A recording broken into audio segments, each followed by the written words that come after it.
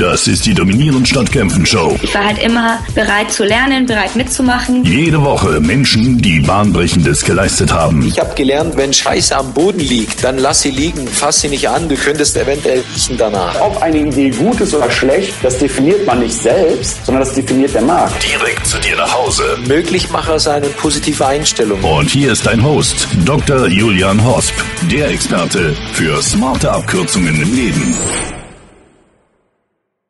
Herzlich willkommen zur heutigen Episode der Dominieren statt Kämpfen Show. Mein heutiger Gast ist ein ganz spezieller Freund von mir. Es ist einer der Gäste, der mich am allerlängsten kennt und er kennt so richtig meinen Weg, wie ich damals eigentlich gerade aus dem Studio, äh, aus, der, aus dem Ab Schulabschluss gekommen bin und dann gemeinsam Medizinstudium, gemeinsam den Sport, der uns verbunden hat, miterlebt hat. Und zwar, ich spreche von Michael Schitzhofer. Michael Schitzhofer ist jemand, den ich jetzt mittlerweile, wir sprechen auch sehr lange über das Ganze, über zehn Jahre kenne. Wir sprechen sehr, sehr viel über den Sport, Kitesurfen. Wir sprechen davon, wie man Kitesurfen lernen kann, jemanden, den es interessiert. Wir sprechen aber nicht nur über Kitesurfen selber, sondern wir sprechen generell über Profisport.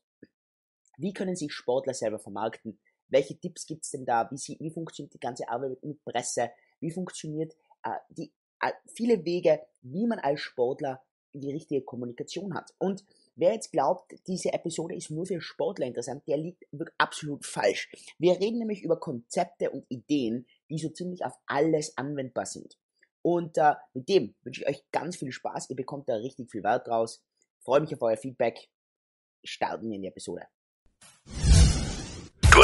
Wie wichtig die richtigen fünf Menschen um dich herum sind. Du möchtest dein Leben genauso dominieren, anstatt immer nur zu kämpfen. Doch, wie geht das? Genau dafür hat Dr. Julian Hosp die Dominieren statt Kämpfen Mastermind-Gruppe gegründet, in der du exklusiven Zugriff auf Insiderwissen zu Gesundheit, Beziehungen, Netzwerken, Business, Finanzen und vieles mehr bekommst. Tausche dich zudem mit hochmotivierten Menschen aus und erweitere dein Netzwerk automatisch, ganz bequem von zu Hause aus. Schau gleich auf www julianhosp.com slash mastermind und buche deine kostenlose Introstunde. Dominiere, anstatt nur zu kämpfen. Ganz kurz, bevor wir in die Show reingehen, drei kurze Dinge. Erstens, wenn du eine regelmäßige E-Mail zur Show haben willst mit Hintergrundinformationen, Fotos und Links, dann geh auf meine Webseite dominieren-statt-kämpfen.com, kämpfen mit AE, trag dich dort ein und ich schicke dir einmal pro Woche eine E-Mail zur Show. Das zweite, wenn du regelmäßig jeden Tag eine kleine motivierende Audionachricht bekommen willst, dann geh auf tab.25geschichten.de und hol dir Julians täglichen Audioblog, wo ich jeden Tag ein paar richtig tolle Sachen bespreche, immer ganz kurz und pünktlich in der Früh.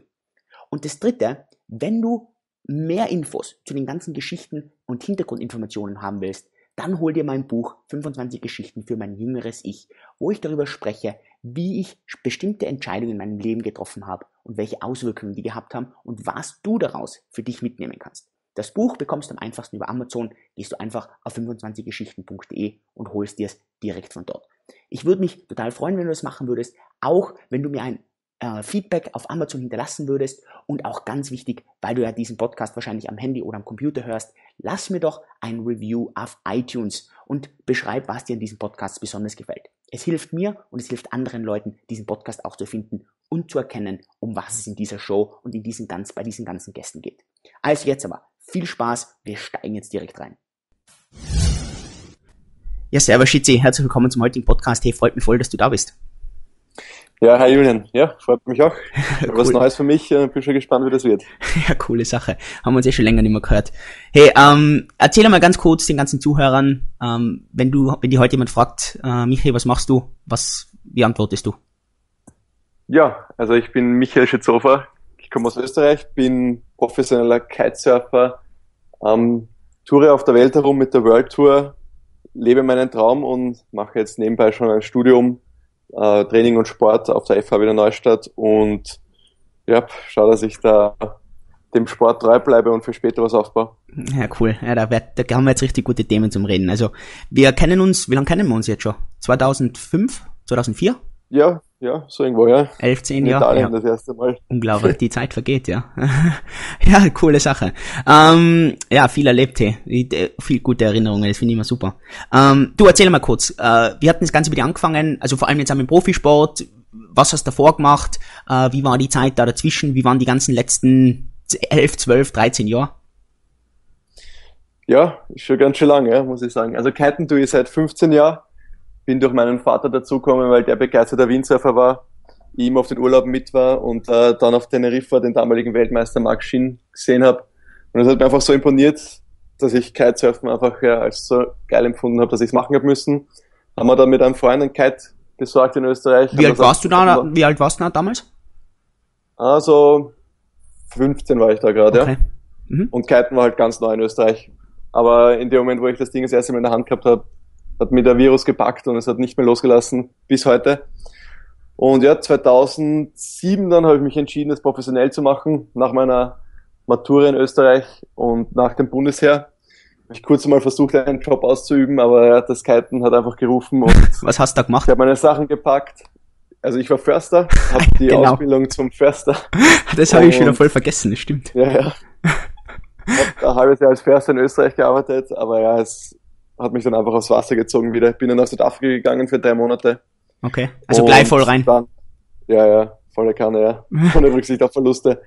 Und ab dann auf der World Tour jedes Jahr dabei, ja. Wie war damals der Sport? Damals, ich meine, damals war das ja relativ anders als heute. Man, damals war ja von den Sicherheitsdingen, auch von den ganzen Tricks und alles. Ich meine, das war, hat sich ja jetzt total geändert, gerade vom Anfang. Ich meine, das war ja damals, war nicht ein Kitesurfen so richtig, also sagen wir mal so, dass es äh, salonfähig war. Ich meine, klar, die ersten Leute sind, was weiß ich, was glaube 98 oder 97 irgendwie gefahren, aber wann war es denn so richtig salonfähig? Also salonfähig in Österreich zum Beispiel ist es sicher erst geworden, nachdem ich begonnen habe. Also als ich begonnen habe, waren das ganz wenige Leute. Es gab, glaube ich, eine Kiteschule gerade in Österreich und ja, es hat nicht wirklich irgendjemand gewusst, um was es da geht und was passiert und du hast auch nicht jemanden fragen können, was mache ich falsch oder was sollte ich besser machen. Das war Trial and Error immer alles und schon auch riskant, weil ja, wie du sagst, die Sicherheitssysteme haben sich erst später entwickelt.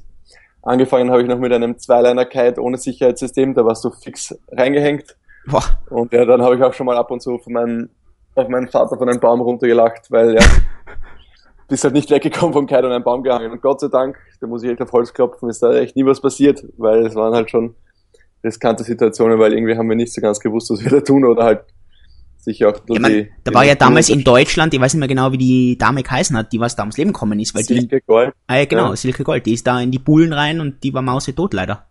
Ja, ja, ja, ja, die hatte echt Pech, auch kein Auslösesystem und der Kollege, der in sie reingeflogen ist, wo sich die Kites verwickelt haben, hatte ein Auslösesystem, hat ausgelöst und sie hatte auf einmal den Zug von zwei Kites, soweit ich weiß. Und ja, das war mhm. sehr tragisch. Ja, also das ist jetzt bei dir 15 Jahre her. Äh, ganz kurz, äh, wie hast du, also beigebracht hast du das komplett selber oder, oder dein Vater oder wie hast du das, man, damals, es gab ja keine Kite-Magazine, die wird es gar nicht geben oder Videos, ah, überhaupt noch nichts. Wie hast du überhaupt angefangen? Ja, wie gesagt, also ich habe damals auf den Riff den Maschinen zugeschaut, ich hatte eine Idee, was es sein soll und wir haben uns dann einfach einen Kite gekauft, was in Wirklichkeit nur ein Lenkdrache ist. Wo hast du den damals hergekriegt? Äh, ja, beim Kannst du ruhig sagen. Surfshop Schneider in Bodersdorf. Aha, okay. War, ja. war glaube ich, der einzige und erste Surfshop, der das überhaupt hatte. Mhm. War damals ein Wippiger Classic Zweileinigkeit, glaube ich, dreieinhalb Quadratmeter. Den, den kenne ich gar nicht mehr. Zug. Den kenne ich gar nicht mehr. Okay. viele nicht mehr, glaube ich. Ja. Aber ja, nein, wir haben nur den, den Kite gekauft, ohne Board und einfach nur mal zum Spaß herumprobiert und ja, dann. Warum ohne Board? Halt einfach, einfach damit du fühlst, wie das, wie das ist, oder warum ohne Board? Ja, weil wir haben ja nicht gewusst, wie es funktioniert und, und es hat einfach so cool ausgeschaut. Mhm. Haben wir mal gedacht, ja, kaufen eine Kite und das Ding hat halt so viel Zugleich gehabt, wir sind durch die Gegend geflogen, durchs Wasser, unter Wasser, am Strand entlang. Dein Vater, war der damals dann nur Windsurfer oder hat der danach relativ schnell umgestellt?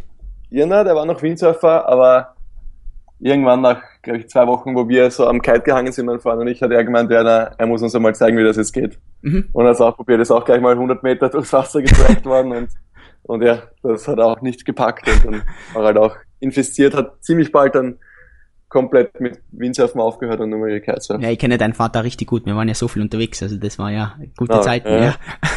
Und dann, wie ist dann, also wie hast du dann zum ersten Mal, auf, wie bist du dann aufs Board und wie ist dann weitergegangen?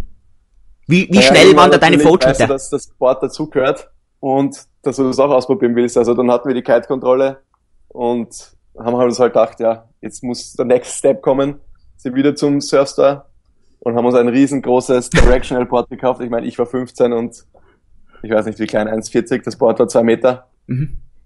Und ja, waren, waren auch klägliche Versuche am Anfang dabei, aber einfach halt ja mit der Zeit Und dadurch, dass du halt jung bist, keine Angst hast und Spaß im Vordergrund steht, haben wir es halt dann irgendwie irgendwann geschafft. Und von dann halt immer weiter, ne? Hast du, was hast du, hast du davor irgendwelche speziellen Sportarten gemacht? Hast du da relativ leicht dann beim Lernen? Weil es gibt ja Leute, die tun sich ja beim Kiten, die brauchen ewig, bis die irgendwie weiterkommen. Es gibt Leute, die haben das irgendwie echt im Urin, oder? Ja, also, puh, schwer zu sagen, aber so Talent würde ich schon sagen und natürlich mit dem Alter, wenn du so jung bist, denkst halt überhaupt nicht an irgendwelche Konsequenzen, Risiken oder irgendwas. Du probierst es halt und schaust, was passiert. Mhm. Und das macht es natürlich viel leichter, wenn du damit 40, 50 Kiten anfängst, ist natürlich ganz eine andere Geschichte, weil du halt einfach im Kopf schon ganz andere Sachen hast, schon viel erlebt hast und Risiko anders einschätzt als ein 15-Jähriger, der mhm. einfach nur Spaß haben will. Und das hat mir natürlich sehr geholfen. Und mein Vater, totaler Sportfreak, ähm, Mountainbiken, Snowboarden, Skifahren, Windsurfen. Und ich habe natürlich alles versucht mitzumachen und mitzuhalten irgendwie. Ähm, und ja, das hat mir sicher auch Vorteile verschafft. Klar. Ja, wenn da unterstützende Eltern hast, das ist natürlich der volle Vorteil, ja. Mhm. Ja, na, das ist ein Wahnsinn gewesen natürlich, weil das Kite-Material immer schon sehr teuer war und jetzt auch noch sehr teuer ist und du als wenn du nur als Kind das Kiten anfangen willst und deine Eltern nichts damit zu tun haben, ist es natürlich sehr schwierig, da Fuß zu fassen, sag ich mal. Und wenn dein Vater genauso verrückt ist wie du nach diesem Sport und sich das Material kauft und du das mitbenutzen darfst am Anfang, ist es natürlich Voll geil. eine Erleichterung. Mhm. Wie ging es dann weiter? Erste Sponsoren oder wie war das dann bei den ersten Wettkämpfen? Ja, mein erster Wettkampf, die Jahreszahl kann ich jetzt nicht mehr ganz genau sagen, war eine österreichische Meisterschaft in Podersdorf. Okay. Und war total spontan da mitzufahren. Ich habe nicht mal gewusst, um was es geht oder was da los ist. wer war da? wer, wer waren da die anderen Leute? Wer hat das Ganze gejudged? Wer waren da die, die Richter? Oh, Du fragst mich Sachen. Hey. Ich weiß nur, dass der Ber Bernie Kudonac von Kitesurfing.at war der Organisator. Ja. Gewonnen hat das Ganze der Guido. Guido Michler, kennst dich auch noch. Ja, logisch, mit dem waren wir in der Riffer gemeinsam. Und, ja, ich bin damals Dritter geworden. Und dafür, dass, das, dass ich einfach am Morgen irgendwie mir dachte, ja, dann fahren wir halt mit, weil es ist lustig, weil es sind ein paar Leute, die ich kenne und so. Und, und ich war halt auch noch sehr jung, es war, glaube ich, in meinem ähm, dritten Jahr Kiten dann. Okay. Also du warst gerade 18 und, nein, aber du warst, was warst du? 18, 19? Nein, ich glaube, ich war jünger. Ich glaube, ich war 16, ehrlich gesagt. 16 wow. oder 17. Ja. Okay, wow. Und. Was seid ihr damals für Tricks gesprungen? Weißt du es noch? ja, sicher, ja. Ähm, ich bin schon Twin Tip gefahren, aber noch ein ziemlich großes. Ja. Und das müssen die ersten Twin Tips überhaupt gewesen sein, cool. Äh, Backrolls, Frontrolls und waren schon ein paar One-Footer auch dabei und Transitions. Kannst du kurz erklären, was aber, ist ein One-Footer? Ja, also da springst du einfach ein klassischer hoher Sprung mit dem Kite und du nimmst eines deiner beiden Beine aus den Schlaufen raus mhm. und machst quasi einen Kung-Fu-Kick, ja. damit das auch jeder sieht, dass das Bein draußen ist und ja. dann wieder rein in die Schlaufe landen und weiterfahren. Mhm. Äh, ist jetzt natürlich heutzutage äh, ja, nicht mehr so spektakulär und Klar. nicht mehr so praktiziert, aber, aber es mhm. war damals für mich absolut das Highlight, das machen zu können. Und irgendwie hat das dann schon was bewegt natürlich, dass du bist so Dritter bei der Meisterschaft, Junioren, österreichischer Meister bei den Junioren und so und ja, dann, dann packt dich irgendwie das Fieber, dass du mehr trainierst, dich mehr beweist und so und ja, das war schon eine coole Zeit auch. Was heißt da, vielleicht können wir da später noch mal ins Detail noch ein bisschen reingehen, was mich total interessiert ist, ähm, so der Unterschied zwischen Kiten einfach, also so wie der Hobby-Kiter draußen kitet und du sagst jetzt wirklich trainieren, oder? Äh, ist das, äh, die meisten Leute, ich glaube, das trifft auf jeden Sport zu, oder? Aber im Kiten, was heißt es jetzt, trainieren gegenüber einfach kiten gehen?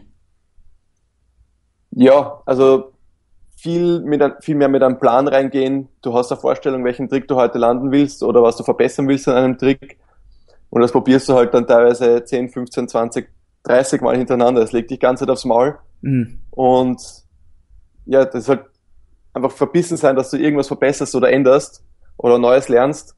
Und ich glaube, dass da viele Anfänger einfach einen anderen Zugang haben, weil du, oder halt fortgeschritten auch, aber halt Hobbykarte, dass du dich nicht freiwillig 30 Mal hintereinander Voll. komplett zerstörst und, und trotzdem noch versuchst, irgendwas zu ändern und weiterzumachen. Und da ist, glaube ich, ein großer Unterschied, was Trainieren und Freizeitkeiten betrifft. Mhm. Einfach, dass du weitermachst, auch wenn es schon wehtut. Mhm. Absolut, ja. Ja. Mhm. Ja, finde ich super. Äh, wie, und wie ist dann weitergegangen? Äh, hast du damals schon Sponsoren gehabt? Wie hast du damals das Material bekommen?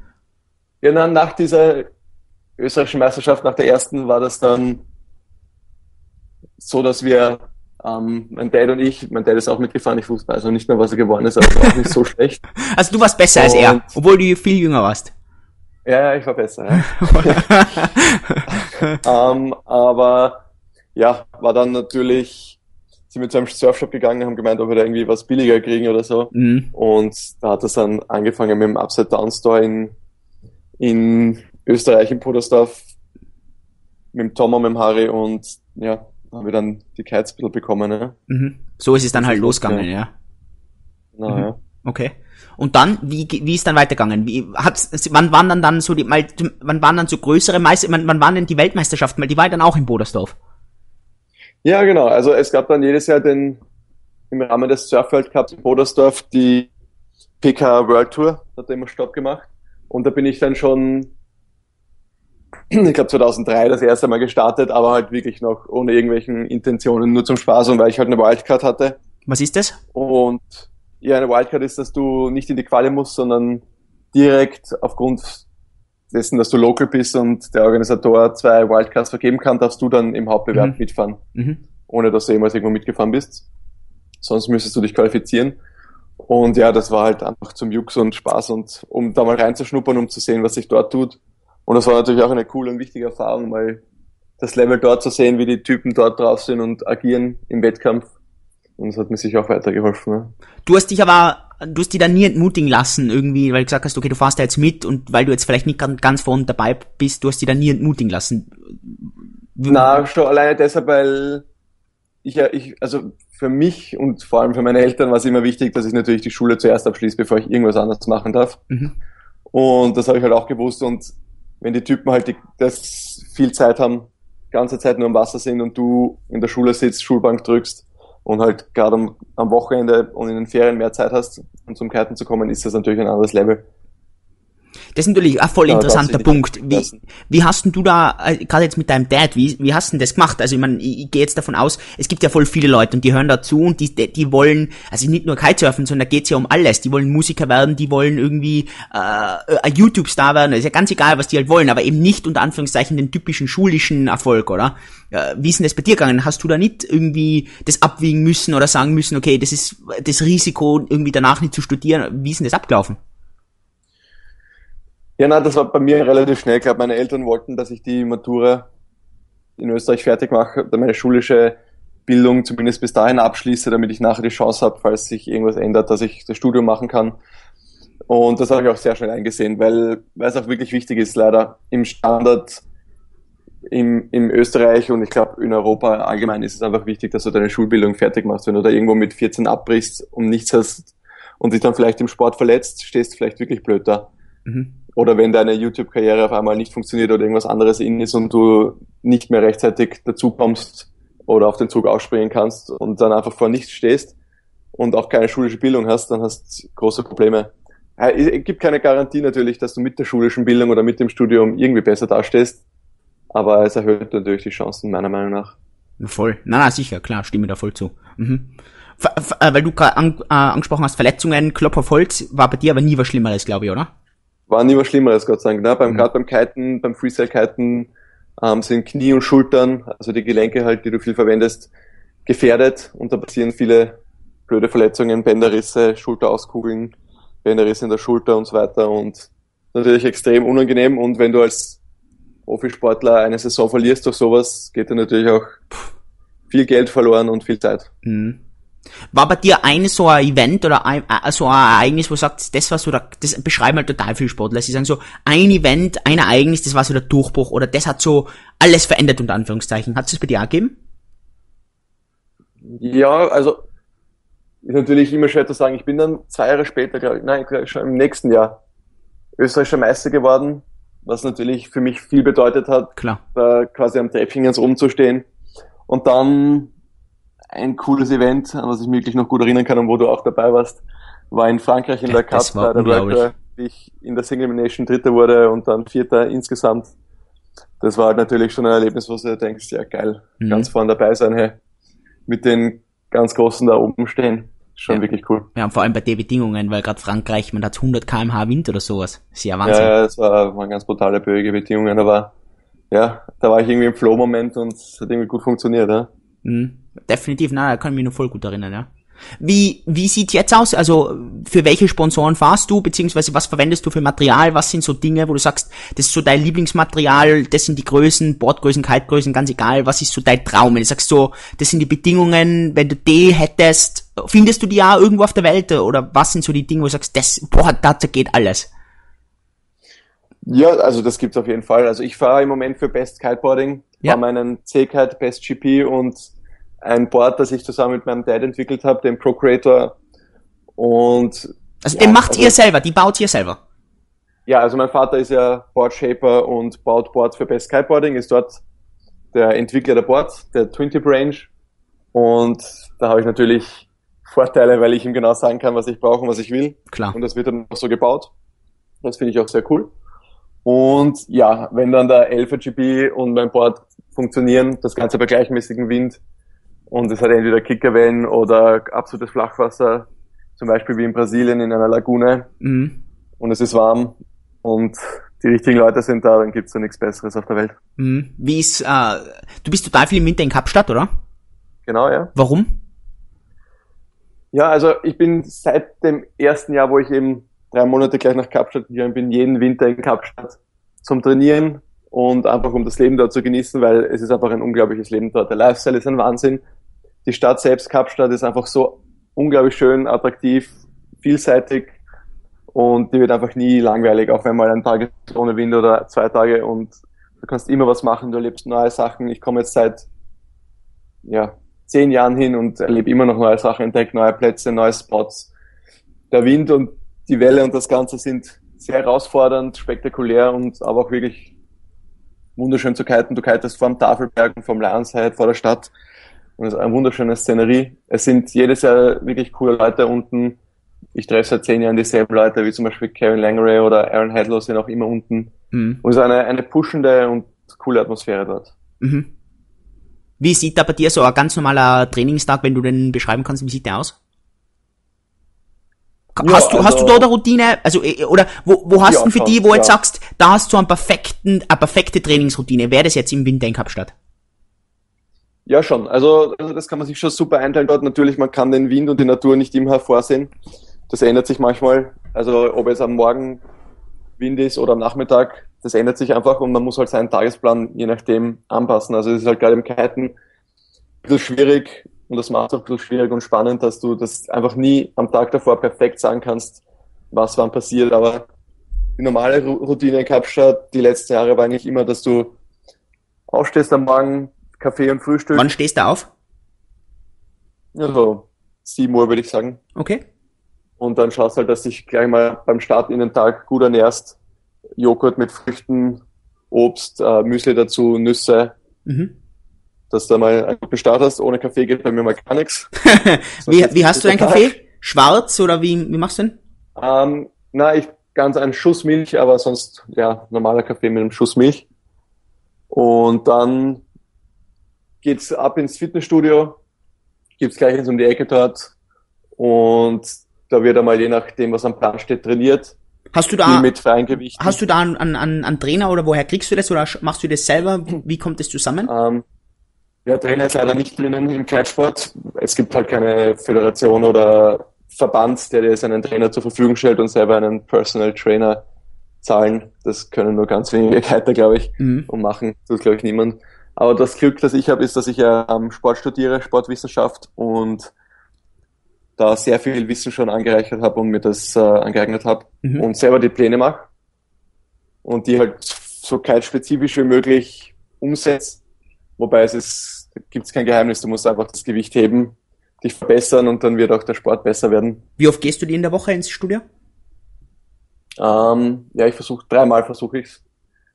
Kommt natürlich immer auf die Windbedingungen ein bisschen drauf an und du musst auch, äh, gerade wenn du zum Beispiel in Kapstadt bist und die Bedingungen hart sind und du einen ganzen Tag mit hartem Wind hattest, musst du auch mal Pause einlegen, aber prinzipiell sind es drei Tage in der Woche. Ja. Okay. Tust du viel dehnen oder Yoga oder meditieren? Man ist jetzt ja, drei unterschiedliche noch, ja. Dinge, also, ich weiß, aber ja, naja, man kann es ja auch verbinden. Yoga kann ja vieles sein. Aber ja, ich, ich mache schon Yoga, gerade um mich zu dehnen, um äh, auch ein bisschen abzuschalten und um die Muskeln quasi zu generieren und geschmeidig zu bleiben. Ja, mhm. das finde ich sehr wichtig. Ja. Wenn, wie sieht dann bei dir so äh, vor der Kite, also vor einer Kite-Session, wärmst du da auf oder hast du immer so spezielle Routine? Äh, wie gehst du da rein oder einfach jetzt mal raus? Na, absolut, absolute Routine dabei. Finde ich extrem wichtig für mich und ich glaube, ich würde das auch jedem empfehlen. Äh, aufwärmen mit Schwunggymnastik, mobilisieren den Körper, quasi in einen Status versetzen, wo er weiß, was jetzt kommt. Also das ist auf jeden Fall so, wenn du dich aufwärmst und deine Übungen machst, weiß der Körper einfach, was als nächstes kommt und wenn du vorbereitet drauf bist und die Gelenke schon aufgewärmt sind, die Körpertemperatur ein bisschen erhöht ist, die Muskeln gedehnt sind, ein bisschen vorbereitet sind, dann geht da auf jeden Fall mehr Leistung und das Verletzungsrisiko wird natürlich stark reduziert. Machst du das dann, und das ist mir extrem wichtig. Machst du das dann vor dem Wettkampf, wenn du in Heat reingehst, machst du es da genau gleich oder hast du dann, machst du dann nochmal was anderes?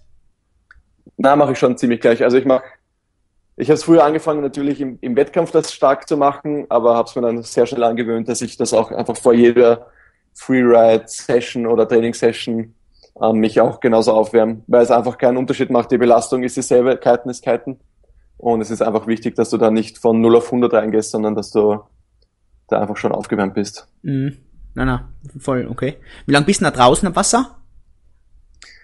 Ja, wie gesagt, also Wind kannst du nie hundertprozentig planen. Das ist leider echt nicht so wie der Basketballer, der in die Halle geht und weiß, jetzt mache ich eine Stunde ja. das und das Training und dann gehe ich duschen und heim. Ja. Sondern wir müssen uns halt sehr auf den Wind anpassen. Es kann natürlich sein, dass der Wind rauf runter geht und den Kite wechseln muss, die Kite größer, weil die ist an den Wind angepasst, an die Windstärke. Also eine gute Session ist bei gutem Wind eine Stunde, eineinhalb Stunden mit kurzen Pausen am Stand dazwischen, wo du nochmal drüber nachdenkst, was du ändern kannst oder auch Luft schnappst wieder. Und ja, dann bist du eh so ausgepowert und auch im Kopf natürlich ein bisschen ermüdet. Und ja, dann musst du mal relaxen. Und wenn es geht, kannst du eine zweite Session machen für eine Stunde nach so ein, zwei Stunden Pause. Aber es kommt natürlich auf den Spot-Set auf an. Kapstadt wie du weißt selbst auch, ist ein sehr forderndes Gebiet. Wenn du da eineinhalb Stunden draußen warst, dann war es das eigentlich auch für den Tag, weil deine Knochen einfach müde sind von den Wellen, von den harten Landungen und natürlich auch von den Crashes. Wie geht's dir mit den Haien dort? Ähm, ja, na, darüber habe ich noch ganz selten nachgedacht, muss ich ehrlich sagen. Ich habe auch sogar schon mal beim Kiten einen gesehen, war aber total entspannte Atmosphäre. na, ehrlich, oder? Hat der Hai halt einfach wieder vor mir umgedreht. Okay. Und ich bin einfach weitergefahren, ohne irgendwie mich zu, zu erschrecken oder so. Aber ja, die Hai gibt's dort einfach und genauso gibt's dort äh, Autounfälle oder ja. herumfliegende Golfbälle mhm. oder ja, in der Karibik herunterfallende Kokosnüsse. Also wenn dein Tag gekommen ist, dann wird irgendwas passieren und, und wenn nicht, nicht, glaube ich, das darf man nicht, davon darf man sich nicht abhalten lassen, das zu tun, was man liebt. Was war beim Kiten das Schlimmste, was du je erlebt hast? Also kann auch sein, dass es jemand anderem passiert ist? Ja, also wir waren einmal im Februar in Ägypten zum Trainieren. Meine eigentlich hier die ganze Familie und ich. Und da ist leider ein, ein Hotelbesitzer aus der Dominikanischen Republik, der noch nicht kiten konnte und eigentlich einen Kurs gemacht hat, auf die dumme Idee gekommen, selbst das für sich auszuprobieren, obwohl der Lehrer noch nicht da war und hat seinen Kite selbst gestartet vor Felsen, wo dann das Meer angefangen hat und ist leider gegen die Felsen gekrallt, ähm, dann ins Meer und wir haben ihn dann rausgezogen, ähm, mein Dad, ein Freund und ich aber leider hat der Typ nicht überlebt dann, ja. Und das war natürlich schon ein tragisches Erlebnis für alle. Wow, scheiße. Ist der dann am Weg im Krankenhaus gestorben, im Krankenhaus oder gar Im, nicht mehr so? Im Krankenhaus, ja. Also es war halt, er war halt schon komplett blau, ähm, hat nicht mehr geatmet. Eine Freundin von unserer Krankenschwester hat natürlich versucht zu reanimieren und versucht da ähm, noch was zu retten. Und du weißt nicht, wann es dann wirklich vorbei ist. Aber ja, na, wir haben dann nur die Nachricht erhalten, dass er es halt nicht geschafft hat. Ne? Ah, scheiße. Mhm. Natürlich auch immer schwierig in Ägypten, ne? wenn du, du bist halt irgendwo in, am, am Strand in irgendeinem Hotel und bis da halt die Rettungskette aktiviert wird. Ne? Es dauert halt einfach lang. Logisch, ja. Wie geht's dir da generell? Also, man, du hast davor Gott sei Dank gesagt, dass dir selber nie was passiert ist, aber wie gehst du, wenn du zum Beispiel bei anderen Leuten, man sieht, man sieht ja oft, dass andere Leute irgendwie verletzt sind, dass sie äh, nach irgendwelchen schweren Rotationen sich das Bandel reißen. Äh, wie, wie gehst du da im Kopf drum um? Wie schaffst du es, dass du da deinen Fokus hältst und sagst, okay, äh, ich lasse mich jetzt davon nicht negativ beeinflussen, sondern mein Fokus, ich, mein Fokus ist stark genug? Weil ja, muss, da, oder, oder spielt das immer ein bisschen mit? Ja, im Hinterkopf spielt sicher mit. Und es kommt natürlich immer davon, es passiert ist. Ne? ob sich jemand selbst irgendwie verletzt hat aufgrund von äh, grober Fahrlässigkeit oder so irgendwas. Oder ob einfach die Bedingungen so schwierig waren oder so vorhersehbar, dass da was passieren muss und du dann trotzdem da einen Beat fahren musst. Das ist natürlich ganz andere Sache. Wir hatten das vor zwei Jahren, also im August 2014, wo Mario Rottwald, der deutsche Starkheiter, sich aber wirklich bescheidenen Bedingungen in Deutschland in St. Peter das Knie komplett zerstört hat. Und jeder schon davor gesagt hat, die Bedingungen sind einfach wirklich schlecht und, und gefährlich, weil die Welle so aus einer blöden Richtung kam, dass wenn du immer nur gelandet bist, war die Chance sehr groß, dass du genau in der Gegenwelle landest und das natürlich unglaublichen Druck aufs Knie ausübt. Und dann hat es der Mario erwischt und wir haben trotzdem noch fahren müssen. Und das ist natürlich dann schwierig, das auszuschalten und zu sagen, ja, na, mir passiert das nicht, weil du, du kannst es einfach nicht sagen. Aber in dem Moment, wo die Tröte losgeht und der Hit losgeht, bist du einfach so im Fokus und du weißt halt, was du tun musst und du gibst dein Bestes und dann wird alles andere ausgeblendet. Gibt es da dann Fahrer, die das deiner Meinung nach besser ausblenden oder vielleicht sogar zu viel ausblenden? Wie siehst du die da? Ja, nein, es, also das Risiko beim Kiten hast du ja immer und natürlich denkst du an Konsequenzen, wenn du was Neues lernst oder wenn du in den Heat gehst und gerade wenn du im Heat bist, pushst du dich noch mehr. Und dieses Pushen kann jeder glaube ich, aber es gibt Leute, die können einfach noch einen Schritt weitergehen und quasi das Hirn komplett ausschalten und da einfach ohne Rücksicht auf Verluste reingehen. Und da gehöre ich, glaube ich, nicht dazu. Was vielleicht auch ein Grund dafür dann ist, dass ich noch nicht so verletzt war wie manche andere, mhm. dass man ab und zu dann, wenn man sagt, ja, es bringt jetzt nichts, wenn ich da noch weitergehe. Und es gibt halt Leute, die denken sich, naja, ich gehe trotzdem noch einen Schritt weiter und die braucht der Sport auch diese Leute, finde ich. Aber es ist dann halt, ja. Wie meinst du das? Halt der Sport braucht das? Bist. Ja, weil, weil ein Sport kann sich nur dann entwickeln, wenn man, wenn man weiß, wo das Limit ist oder wenn man schaut, dass man übers Limit geht und das Limit verschiebt. Und wenn dann einer das macht, dann probieren es die anderen auch, wenn man gesehen hat, ja, es ist ja möglich, man kann es machen. Und so entwickelt sich ein Sport und ich glaube, so entwickelt sich vieles. Und im Sport sind halt die Konsequenzen oft, oft andere als irgendwo in der Privatwirtschaft oder sonst wo. Aber einer muss halt sagen, das ist eure Grenze, aber nicht meine und ich gehe noch den Schritt weiter und wenn es funktioniert, dann ist das die neue Grenze. Ne? Mhm. Das trifft eher, das trifft nicht nur im Sport, das ist wirklich als alles. Menschheit, ne? klar. Mhm. Haben ja. sicher viele Leute nicht geglaubt, dass das geht und einer hat es halt gemacht. Mhm. Äh, was man ja oft beim Surfen halt hört, ist, sind Drogen. Ähm, wie siehst du das? Was, äh, wie ist das im Kitesport? Denkst du, das ist, äh, ich meine, es gibt eben so die typische, der typische Surfer ist ein Kiffer. Äh, wie siehst du das? Äh, stimmt das, stimmt dieses äh, typische Vorurteil oder wie siehst du das? Ich meine, das passt ja da dann voll rein, oder? Weil äh, irgendwie das. Ja, ja, das ist natürlich ein absolutes Klischee.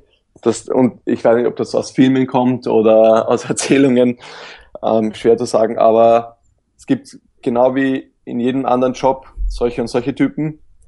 Ähm, aber die Leute, die es auf der World Tour professionell und ernst nehmen, da haben Drogen einfach nichts verloren. Und das wissen die Leute auch, dass es einfach ein hartes Training ist. Und natürlich gibt es Ausnahmen und Leute, die, die das machen. Es gibt ja auch Länder, wo es legal ist, zum Beispiel anscheinend zu rauchen. Ja. Aber, aber für mich zum Beispiel war das, war immer Kiten im Vordergrund und der Sport und die Leistung zu verbessern. Und ja, ich verzichte auch bis auf wenige Ausnahmen im Jahr generell auf Alkohol, Drogen sowieso und versuche mich gesund zu ernähren und finde es extrem wichtig, da seinem Körper das bestmögliche Setup zu geben, um damit er dir das zurückgeben kann, die Leistung. Wann würdest du Alkohol trinken?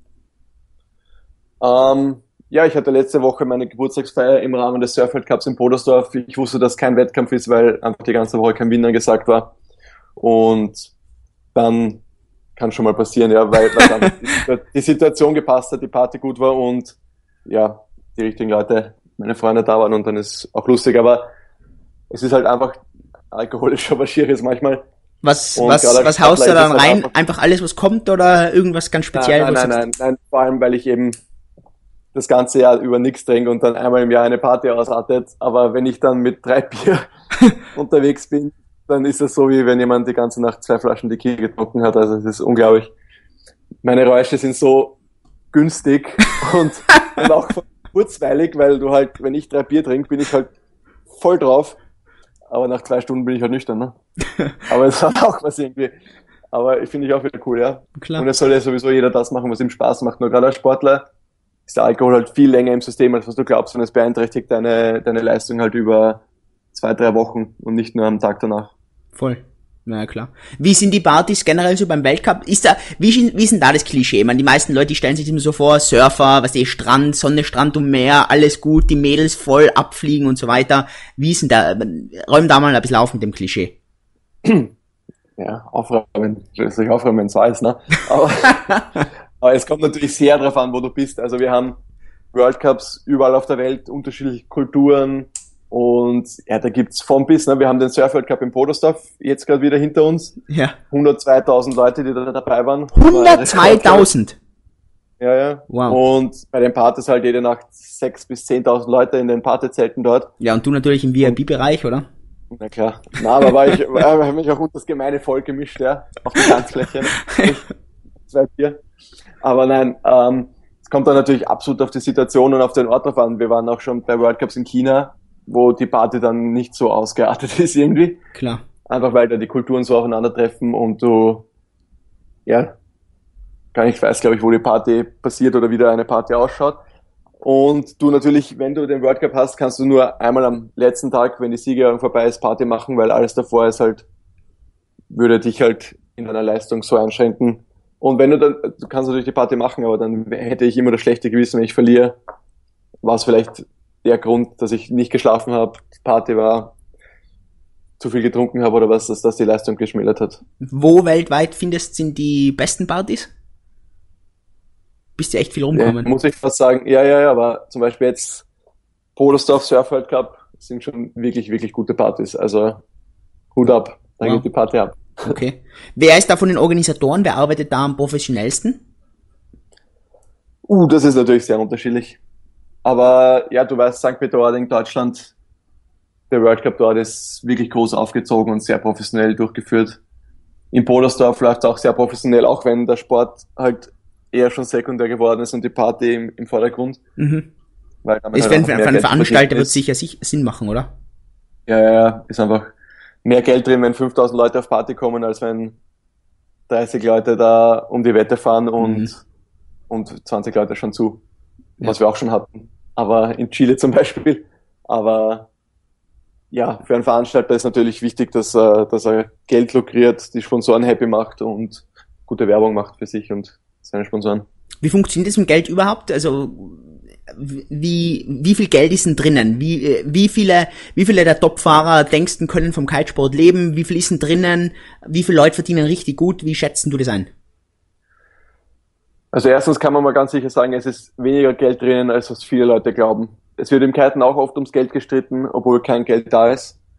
Es ist halt eine Randsportart, eine Trendsportart und es ist eine Riesenschere zwischen Freizeitkiter, der Spaß am Kiten haben will und nach der Arbeit mal kiten geht und dem Freestyle-Kiter, der hart trainiert.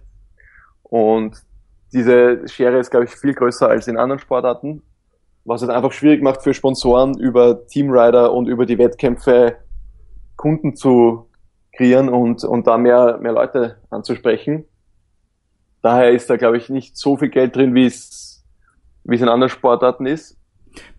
Also, weil zum Beispiel Red Bull ist ja im Kitesurfen auch drinnen. Warum ist zum Beispiel, dass der Skateboarder äh, oder keine Ahnung, Motocross-Fahrer teilweise, dass die deutlich mehr verdienen als wie im Kiten, obwohl es meiner Meinung nach wahrscheinlich mehr Kitesurfer gibt, als wie irgendwelche Motocross-Fahrer, die extreme Dinge im Motocross machen. Ja, ja, das stimmt schon. Also beim Motocross ist sicher auch ein bisschen das Risiko, das bezahlt werden muss. Wenn du da einfach Kopf und Kragen riskierst, muss auch das Geld dazu passen, weil sonst steht sich das nicht dafür, wenn du für einen Sponsor ein Video machst und, und dich halber umbringst dabei. Aber ja, na, muss man einfach sagen, in Amerika zum Beispiel spricht das so viele Leute an, Motocross und Kiten sicher so viel weniger. Mhm. Und eben wenn jetzt, glaube ich, Motocross jemand einen Triple Backflip jetzt macht, wird das einfach sofort viral. Es schauen sich Millionen Leute auf der Welt an, dieses Video. Und das bringt einem Sponsor natürlich extrem viel. Wenn ein Kiter einen neuen Trick macht, verstehen die meisten Leute gar nicht, was jetzt anders ist bei dem Trick. Und Kiten ist dann, glaube ich, auch nicht populär genug, dass, dass es viral werden könnte. Nur wenn ein neuer Trick gelandet wird. Da musst, musst du einfach schon extremere Sachen machen, von irgendwelchen Gebäuden springen oder über Brücken springen, von Brücken springen. Dass Leute, es Leuten einfach machen zu verstehen, was da passiert und was die Leistung dahinter ist.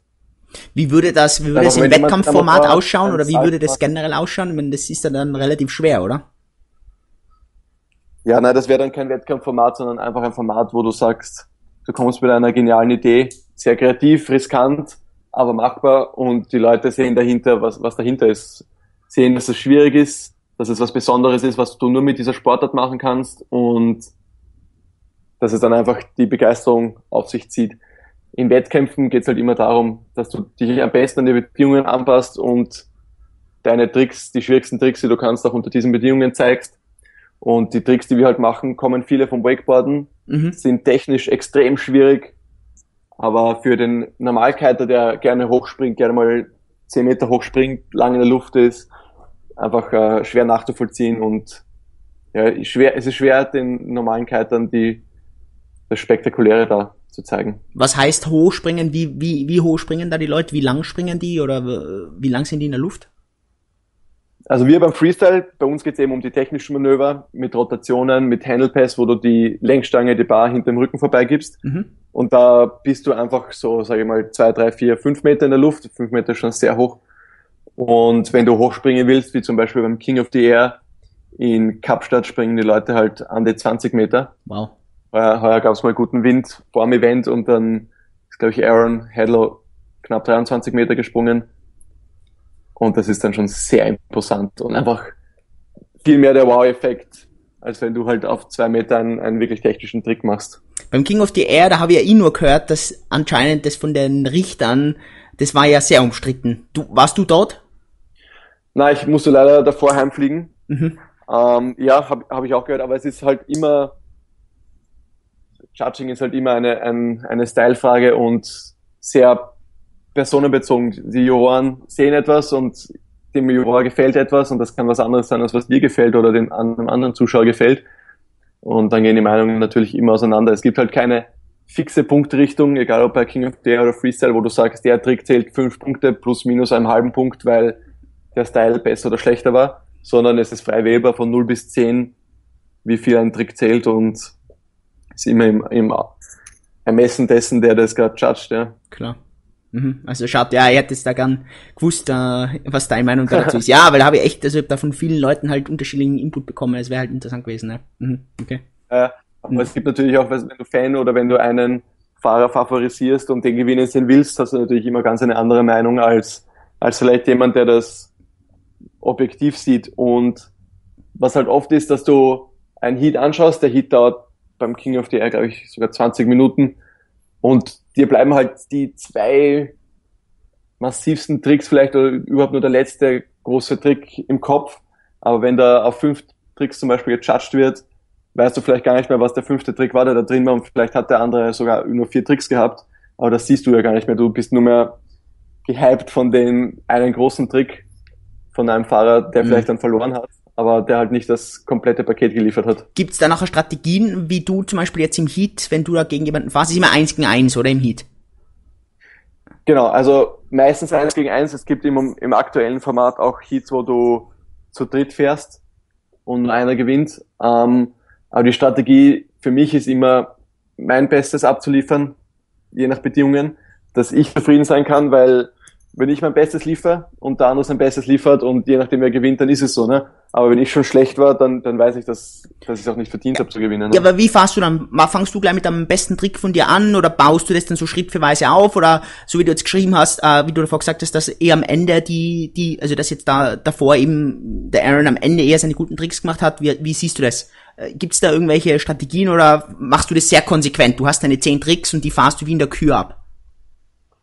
Ja, für mich ist es so, ja, dass ich Spin aufbaue, also mit Karte ein bisschen leichter am Anfang und das Ganze dann auch gegen Ende hin. Gibt es natürlich auch äh, andere Strategien, dass du schon mit einem schwersten Trick anfängst. Und wenn er aufgeht, ist alles gut, wenn nicht, dann crash er ziemlich hart. Aber wenn du den, den harten Trick landest und dein Gegner sieht vielleicht auch noch, dann hast du schon mal dein Revier ein bisschen markiert. wenn, aber ja, das ist halt top oder top ich versuche es eh ein bisschen mit der sicheren Seite und Pause auf, ja. aber da geht jeder mit persönlichen Vorlieben rein. Mhm. Was war, wenn du so zurückschaust in deiner ganzen Karriere, was war äh, dein absolut größter Erfolg, auf dem du, auf, auf das du am, am, am stolzesten bist? War das der Le Cut Event? Ja, das, ja, absolut, ja, schon. Weil ich mir damals wirklich hart erkämpft habe, hart trainiert habe, auch in, in nicht so guten Bedingungen und das ist dann dort einfach alles aufgegangen Und ich habe wirklich die Leute ohne Glück oder irgendwas einfach geschlagen, weil ich besser war. Und das war dann ein sehr befriedigender Erfolg für mich, finde ich, ja. Was war für dich so der, der tiefste Punkt in deiner Kitesurf-Karriere? Puh, der tiefste Punkt, ja, das ist schwer zu sagen. Gab nicht wirklich tiefe Punkte. Es gibt natürlich immer schlechtere Phasen oder wo die Form einfach nicht passt. Zum Beispiel? Im Moment ist es halt so, dass ich mit dem Studium sehr eingedeckt bin. Ich mache gerade meine Masterarbeit und es geht wenig Winterheim in Österreich, wo ich im Moment bin und du kommst einfach wenig zum Kiten und es ist einfach extrem schwer, damit so wenig Kiten dein Level zu halten. Von neuen Tricks lernen reden wir dann noch gar nicht. Und es tut natürlich weh, ne, wenn du weißt, wo du sein könntest oder wenn du siehst, wie die, die 24-7 nur kiten und du halt nicht ganz so die viel Zeit aufbringen kannst und dann auch noch die Windbedingungen zu Hause vielleicht nicht so passen, dass einfach nichts weitergeht im Moment und du halt irgendwie schaust, dass du dein Level hältst, das tut dann halt ein bisschen weh. Ja. Wie trippst du, wie, wie, wie übst du die dann da nach oben? Also wie motivierst du die dann selber oder hast du dann da spezielle, keine Ahnung, schaust du dann Videos an oder wie motivierst du die da? Ja, also man schaut natürlich Videos, aber prinzipiell habe ich halt einfach auch diesen Kite-Virus noch immer in mir und in dem Moment, wo da draußen die Blätter rascheln, sitze ich im Auto und fahre zum, zum See und liebe einfach immer noch dieses Gefühl, wenn es losgeht mit der Session und du spürst, dass der Wind gut ist, weil die Sonne scheint, es ist wieder warm und du hast Freunde im Wasser, hast, kannst lachen, lächeln und, und es passt einfach alles. Und dann ist auch sekundär quasi, welche Tricks du landest. Aber als Wettkampfkiter und oder als eine Person, die halt einfach immer im stetigen Wettkampf mit sich selbst ist, willst du halt einfach deine besten Tricks landen und die härtesten Tricks. Und manchmal funktioniert es und manchmal nicht. Was war für die dann in dem ganzen Kalten so die schwierigste Hürde, die du überkommen hast müssen? Ja, schwierig ist natürlich Fuß zu fassen, ganz am Anfang, wenn du jung bist, neu auf der Tour, keinen Namen hast, noch nicht viel Geld von Sponsoren kommt. Das ist natürlich eine große Hürde. Und dann ist dein Level zu halten, wenn du älter wirst, ist eine große Hürde und die Sponsoren bei dir zu halten, dass sie das weiter trotzdem finanzieren und an dich glauben, auch wenn es vielleicht mal einen Durchhänger gibt. Mit wem arbeitest du da heute zusammen? Wer sind deine Sponsoren? Ähm, ja, wie gesagt, das ist Best Kiteboarding, das ist ähm, Quicksilver, äh, für Wetsuits und Gewand. Ähm, Sportpool Burgenland, das ist eine Organisation bei mir zu Hause hier in Österreich, die Sportler vor allem von Randsportarten unterstützt finanziell, was wirklich super ist. Ähm, und noch ein paar kleinere Sponsoren. Aber ja, der Hauptsponsor ist natürlich die, die Kite-Firma. Klar die einen wie, wie kann man sich das vorstellen? Oder wie würdest du, also stell dir jetzt vor, da sitzt jetzt heute ganz ein Junger und der hört das jetzt an und es braucht nicht nur ums Kitesurfen gehen. Es geht ja um hunderte Randsportarten, generelle Sportarten, immer auf Sponsoren angewiesen. Wie kann man sich das vorstellen? Wie kommt man da mit den ersten Sponsoren in Kontakt? Wie, wie arbeitet man mit denen? Was würdest du, welche zwei Tipps würdest du da vielleicht jemandem geben? Okay, also wichtig würde ich finden, es ist natürlich sehr sportabhängig, aber du musst Leistung haben, die du vorzeigen kannst. Du kannst nicht aus dem Nichts kommen und sagen, du bist der Beste, sondern du musst es schon mal irgendwo bewiesen haben. Also wenn du jetzt jung bist und gut in irgendwas bist, dann zeig's auch. Dann geh zu einem Wettkampf, beweise dich, zeig's den anderen und du musst ja nicht gleich gewinnen. Keiner sagt, dass du deinen ersten Wettkampf gewinnen musst. Aber wenn du gut bist, dann sieht man das auch. Ja? Mhm. Und ganz wichtig ist, glaube ich, die persönliche Einstellung zu einer Sache. Du darfst es nie aus dem Grund machen, um Sponsoren zu kriegen, sondern du musst es machen, weil es einfach dein Leben ist und weil du weil es dein Traum ist und weil du das gerne machst und dann kommt der Rest. Aber du kannst nichts erzwingen und schon gar nicht nur um Geld zu kriegen einen Sport gut machen. Hm, das trifft eh genau wieder das, wie auch Steve Jobs oder wie ganz viele erfolgreiche Leute, die generell sagen, äh, du kannst nur richtig erfolgreich in etwas sein, wenn du das wirklich gern tust, was du machst. Wenn du es nur machst, um Geld zu verdienen, dann wirst du nie richtig erfolgreich sein. Das ist ja genau das, was du da sagst, ja. Ja, ja, na, ist auch ganz absolut meine Meinung, ja. Äh, verwendest du äh, verwendest du mehr Fotos oder hast du da eine Pressemappe oder verwendest du hast du mehr Videos? Wie was schickst du denen zum Beispiel? Ja, also du musst natürlich eine eine Pressemappe haben, wo du zeigst, was gibst du da alles ähm, rein? wer du bist. Puh, Julian, gute Frage. Ähm, ja, du musst natürlich dich selbst beschreiben. Du musst zeigen, wer du bist, was für eine Person du bist, deine Persönlichkeit und deine Leistungen. Vielleicht musst du auch überhaupt erst einmal erklären, was für eine Sportart du machst. Also es ist ja gerade, wenn du aus einer Randsportart kommst, darfst du nicht voraussetzen, dass die Person auf der anderen Seite weiß, was das auch ist. Also am besten mit Fotos und Beschreibungen erklären, was du machst, worum es geht, was zeigen, was das Potenzial ist. Wie erklärst du da Kitesurfen? Ähm, Naja, dass es eine Wassersportart ist, die mit einem quasi Lenkdrachen, wo der Fahrer übers Wasser gezogen wird und du spektakuläre Sprünge zeigen kannst, dass du dich frei am Wasser bewegen kannst, dass es eine absolut grüne Sportart ist, weil wir halt einfach die Umwelt nicht verschmutzen, dass es eine Fun-Sportart ist, dass es eine wirklich eine große Community schon gibt und es immer noch die am stärksten wachsende Wassersportart der Welt ist. Und ja, dass es ein cooler Lifestyle ist mit coolen Leuten. Ne? Und da musst du natürlich auch deine Person sehr gut präsentieren und deine Leistungen aufzeigen, vielleicht da schon Pressemappe dazugeben, Presseclipping, wenn du schon was hast, irgendwo in Magazinen oder Zeitungen. Äh, vielleicht hast du schon Videos gemacht, die gut angekommen sind mit vielen Viewern.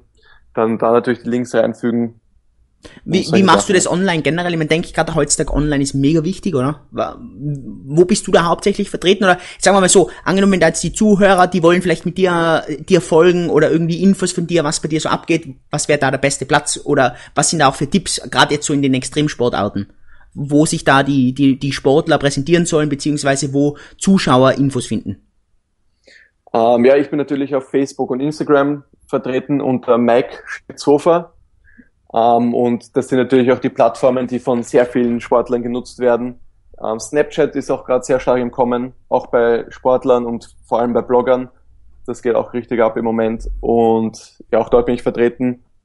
Und es geht halt einfach darum, glaube ich, Emotionen zu teilen. Das ist für viele sehr wichtig, dass du, dass du auf einem Foto, einem Video erkennst, was die Emotionen dahinter sind und dass du dich gestoked fühlst davon, wenn du siehst oder in irgendeine gewisse Stimmung versetzt wirst beim Video beim schönen Sonnenuntergang oder ein Foto, wo die Sonne gerade aufgeht oder die Stimmung gut ist und, und das wollen Leute, glaube ich, sehen. Also das x-te Foto, wo halt die Qualität vielleicht nicht so gut ist, du weißt, du hast den besten Trick gelandet, den es gibt, aber, aber das sieht man am Foto nicht. Ne?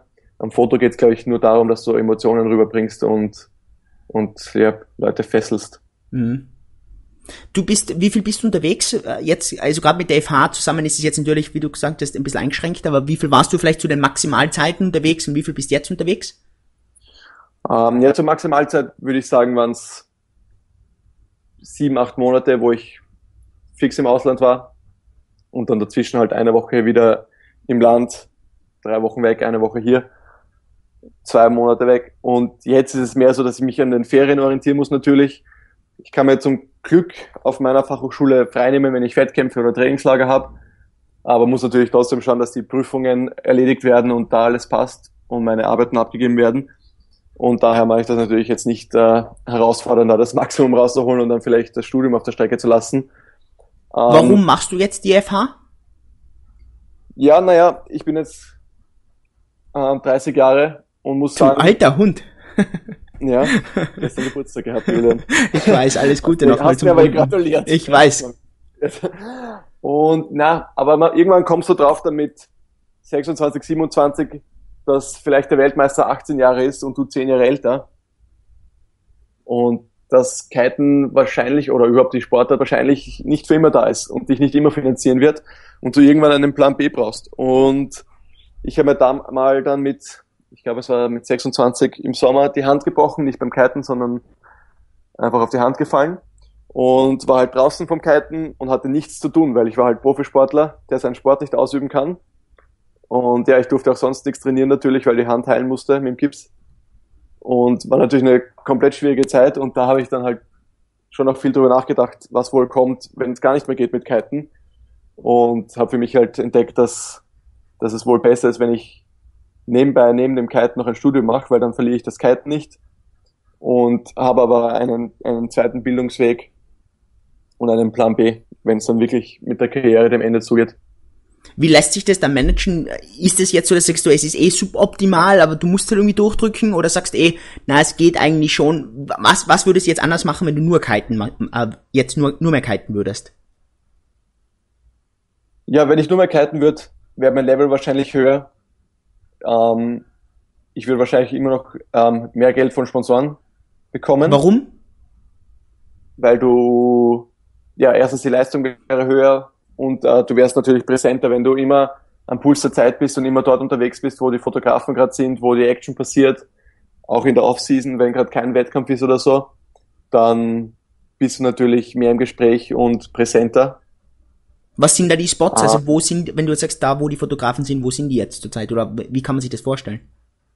Also das muss man mal, das ist, kommt sehr auf die Jahreszeit drauf an und das jeden Monat ist quasi ein anderer Spot, wo gerade die Leute sind zum Trainieren. Zum Beispiel jetzt? Immer danach, wo der Wind am besten ist. Jetzt gerade würde ich äh, entweder in Tarifa sein oder vielleicht in Ägypten. Und so Hotspots sind natürlich im Winter Kapstadt, im Herbst ist es Brasilien absolut, im Frühling dann eben so April, Mai, Juni ist es Tarifa in Spanien. Und so tingeln die Leute halt herum, immer dem Wind nach und halt auch Wettkämpfen nach und die Fotografen und die Magazine natürlich hinterher oder Kameraleute, weil du halt dabei sein musst. Und das ist zum Beispiel bei mir halt jedes Jahr im September geht die Uni wieder los, die FH, und da muss ich halt am Start vor allem viel dabei sein, damit du nicht zu viel verpasst. Und das ist dann immer eine intensive Phase bis Oktober. Und gerade September bis Oktober ist halt die Zeit, wo, wo in Brasilien viel passiert. Und das ist halt einfach das beste Trainingsrevier zum Kiten, weil die Bedingungen perfekt sind. Was, was macht es dann so gut? Also sich zum Beispiel jedes Jahr. Was macht es dann so gut, so ein Trainingsrevier? Ähm, die Gleichmäßigkeit des Winds, der Bedingungen. Dort geht einfach jeden Tag derselbe Wind. Du musst dich nicht jeden Tag neu auf, auf den Wind einstellen, sondern du weißt halt, wie der Wind ist. Und jede kleine Veränderung dann beim Absprung, bei einer Rotation, beim Krafteinsatz im Trick verändert etwas und du kannst absolut spüren, was es ist, weil Dein Kite hat sich nicht verändert, die Position vom Kite ist die gleiche, der Absprung im Wasser ist der gleiche und somit kannst du viel besser im Kopf dran arbeiten, was verändere ich, wenn ich hier mehr ziehe, wenn ich hier fester abspringe, wenn ich mehr ankant beim Absprung mit dem Board.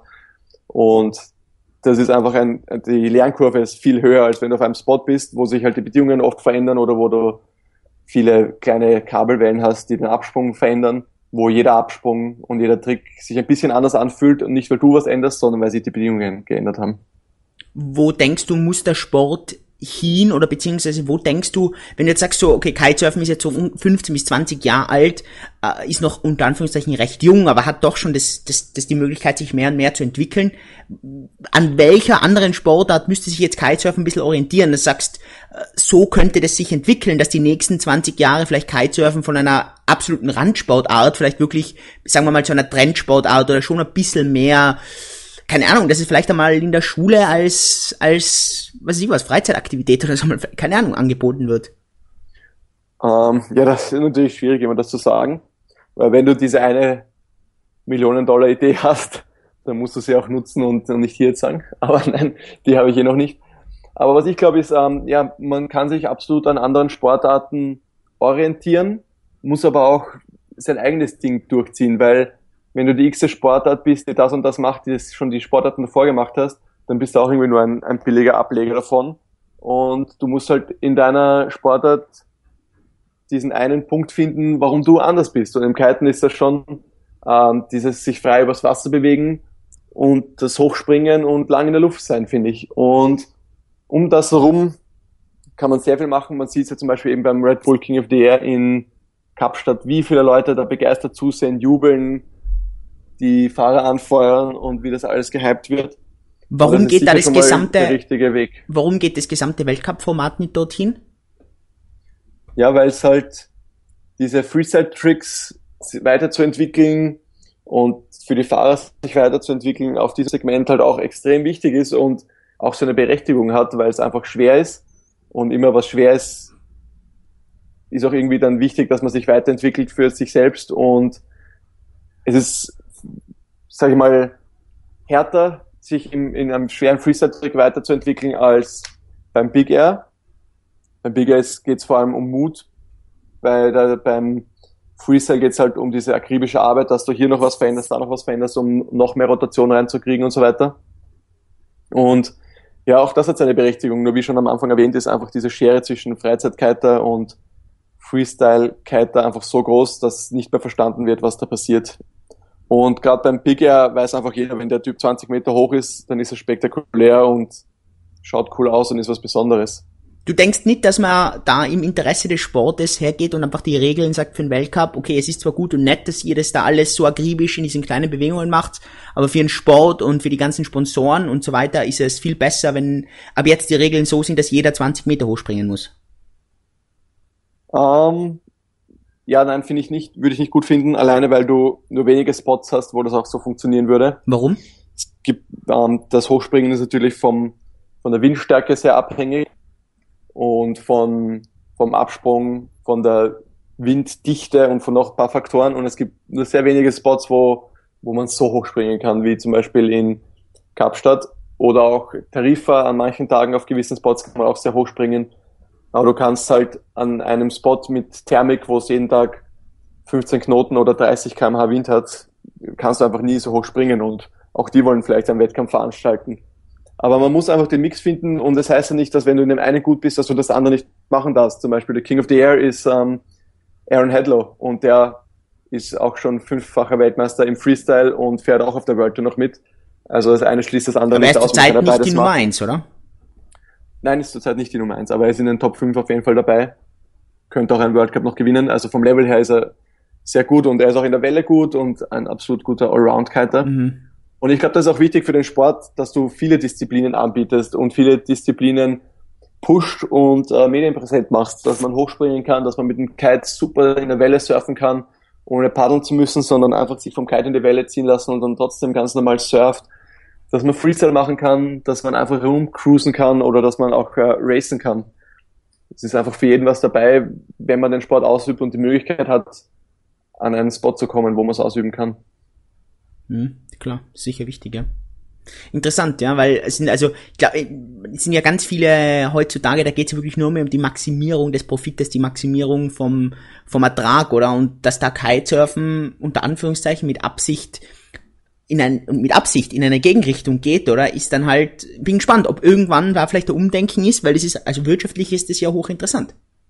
Ja, hochriskant auch, ja. Aber es ist sowieso ähm, ein Randsportart und wie gesagt, es gibt halt wenige Spots, wo du allgemein, wo du kiten kannst du halt nur, wenn du das Wasser und den Wind hast, genügend Platz zum Starten und Landen, dass alles sicher abläuft und vielleicht auch schon ein bisschen eine Szene hast, sonst kitest du nicht an einem Spot und das limitiert den Sport auch ein bisschen, aber an den Plätzen, wo es funktioniert, explodiert es halt und ähm, ich merke es zum Beispiel bei uns hier am Neuseeler See mit dem Einzugsgebiet Wien, mit der Bundeshauptstadt mit zwei Millionen Einwohnern, da explodiert Kiten einfach, weil es einfach so ein attraktiver Sport ist und einfach so ein cooles Feeling, wenn du da am Neuseeler See übers Wasser gleitest und das machen kannst und mit deinen Freunden das machst und dich einfach frei bewegst und Wind, Luft und Natur spürst. Und äh, wenn das die Leute sehen und ausprobieren, dann bleiben die meisten Leute, glaube ich, auch dabei. Einfach weil es sowas Besonderes ist. Nur musst du einfach die Möglichkeit haben, es auch auszuüben. Ja? Wo würdest du Kiten lernen? Fragen wir mal für einen ganzen An An Anfänger, der das jetzt hört, keine Ahnung vom hm. Kitesurfen hat. Hättest vielleicht einen Tipp, wo er das online sehen kann? Ähm, beziehungsweise hast vielleicht einen Tipp, wo er äh, das lernen soll? Ähm, ja, also es gibt natürlich extrem viele Schulen. Überall, wo ein paar Leute kiten, gibt es auch schon eine Kiteschule. Und es gibt natürlich Reviere, wo es leichter ist und wo es schwieriger ist. Ähm, wichtig ist, finde ich, dass du es wo übst, wo die Schule eine Auszeichnung hat für, also von einer Vereinigung von Kite-Lehrern oder Kiteschulen, dass das auch wirklich geprüfte Kite-Lehrer sind, dass der Typ weiß, was er macht, wenn er mit dir aufs Wasser geht, dass er auch die Sicherheitsregeln kennt. Und dann sind natürlich Spots auch gut, wo du keine Hindernisse vor dir hast, wenn du kitest. Also ich würde immer sagen, wenn du irgendwo bist, wo der Wind von der Seite kommt und nicht frontal zum Strand hin, ist es immer besser. Oder als wenn der Strand ah, der Wind direkt weggeht vom Stand, wo du weggetrieben wirst vom Stand. Also es kommt schon sehr auf den Spot drauf an und auf die Qualität des Lehrers, wie glaube ich bei allem. Der Lehrer entscheidet schon sehr viel über Erfolg oder Nicht-Erfolg beim Rumreisen, wie du's da? Ich meine, das stelle ich mir ja, ich mein, bei mir war das ja immer ein absolutes Desaster, Horror immer mit dem ganzen Kaltmaterial. Hast du irgendwelche Tipps? Oder generell, ich meine, das sind ja Leute mit Übergepäck. Wie machst du das? Suchst du da genau die Airline aus oder, oder irgendwie hebst du da mit dem Fuß hin und hebst die Tasche hoch oder wie machst du da? Haben wir alles schon gemacht, Julian, gell? Rucksack runtergestellt und so weiter, wenn es funktioniert, aber ähm, ja, es ist einfach so, dass es gibt halt Regeln bei den Airlines und das Wichtigste ist, dass man sich vorher erkundigt, was ist die Regel bei dieser und jener Airline, welche Airline kann ich nutzen, um von A nach B zu kommen. Welche nimmst Regeln... du am meisten her? Ah, ich muss sagen, ich fliege am meisten mit Air Berlin mhm. oder Fly Niki von Wien aus. Erstens, weil es halt ähm, von Wien gerade in Europa überall hinkommst und dann mit äh, äh, anderen Carriern halt dann in Verbindung auch noch weltweit überall hinkommst. Und sie haben ein sehr gutes Konzept für Sportler mit ich kann im Moment einfach zweimal 32 Kilo mitnehmen gratis. Wie geht das? Ähm, entweder über die Service Card, die man für ein Jahr käuflich erwerben kann, immer. Mhm. Oder du kriegst halt einen Status, wenn du viel fliegst mit ihnen. Ja, du fliegst halt viel, klar. Ja, ich fliege sehr viel. Ja. Das kennst, kennst du ja auch. Ja, ja, klar. Aber ja, nein, aber es ist eine, eine finde ich, eine sehr angenehme Airline, was das betrifft. Weil man meldet es vorher an, man kriegt das okay oder das nicht okay, je nachdem, ob es draufpasst. Aber es hat eigentlich bis jetzt immer geklappt, dass es noch mitgenommen wird. Und da gab es für mich noch nie Probleme mit Zahlen. Und es gibt halt einfach Airlines, die dir irgendwie ganz schwummrig auf der Homepage irgendwas erklären von dem und dem und anmelden und vorab zahlen und dann bist du trotzdem wieder ein Kilo drüber und das Kilo kostet dann 70 Euro und auf einmal oh, kostet oh, dich das Gepäck mehr als der, als Flug. der Flug gekostet hat und du überlegst, ob du nicht ein neues Ticket für den Boardback buchen solltest und ihn in die Kabine mitnimmst. und es gibt halt auch einfach kooperative Airlines, wo man ein Auge zugedrückt wird oder es gibt halt Airlines, wo einfach beinhart das Konzept durchgezogen wird und wenn du das halbe Kilo drüber bist, darf das Zeug nicht mit. Und das lernt man halt über die Zeit natürlich. Aber man sieht es schon noch ein bisschen einfach über die, über die Homepages, über die, über die Richtlinien, wie die Airlines da mit Sportlern und Sportgepäck. Was war das krasseste? Man, hast mal richtig diskutiert mit einer Airline oder was war das krasseste beim Reisen, wo du sagst, jetzt zuck ich dann gleich total aus? Ja, also das war, ja, gibt's natürlich mehrere Stories, aber einmal war es natürlich in Wien am Flughafen mit Austrian Airlines schon sehr dramatisch, weil ich hatte einen Flug nach Brasilien. Ja, hoffentlich hören die das. Hoffentlich hört ja, Austrian Airlines dazu, ja. Mit Austrian und ich hatte das Sportgepäck angemeldet, ähm, meinen X-Bag bezahlt und die Dame am Counter hat das anscheinend nicht gesehen und hat gemeint, ja nein, das wird als normales Übergepäck verrechnet, das kostet sie 800 Euro. meine, das kann es nicht sein und bin wirklich schon, ja, irgendwann dann ausgezuckt bei der Dame und habe dann, aber sie ist halt einfach nicht davon untergegangen und ich hatte die Bestätigung und alles, aber sie hat es nicht gesehen auf ihrem System.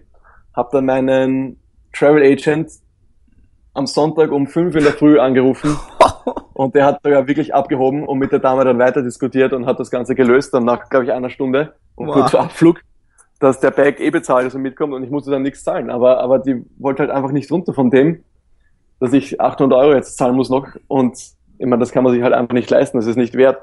Und ich meine, das war halt zum Glück noch vor dem Abflug von Österreich. Aber sowas kann natürlich genauso passieren, wenn du irgendwo im Ausland bist. War das mal im Ausland irgendwo?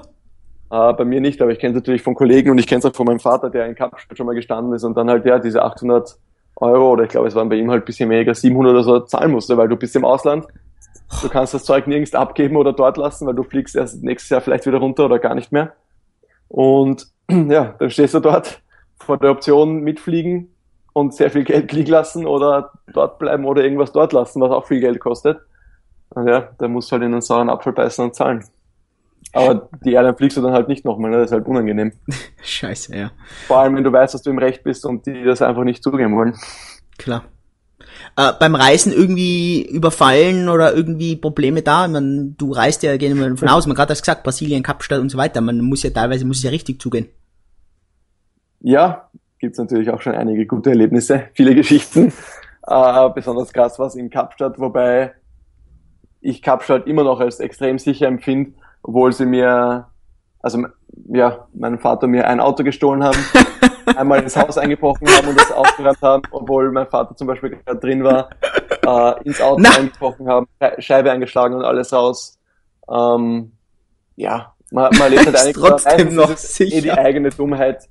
Man hat irgendwo geparkt, wo es halt einfach, wo niemand das Auto gesehen hat oder man hat den Schlüssel äh, versteckt und niemand hat es gesehen oder man hat ein Fenster. So hinterm Reifen rein und. Ja, eventuell. Oder man hat äh, das Fenster gekippt gelassen, weil es halt einfach die heißeste Nacht des Sommers dort ist. Und irgendjemand checkt's halt und, und steht dann auf einmal halt im Haus.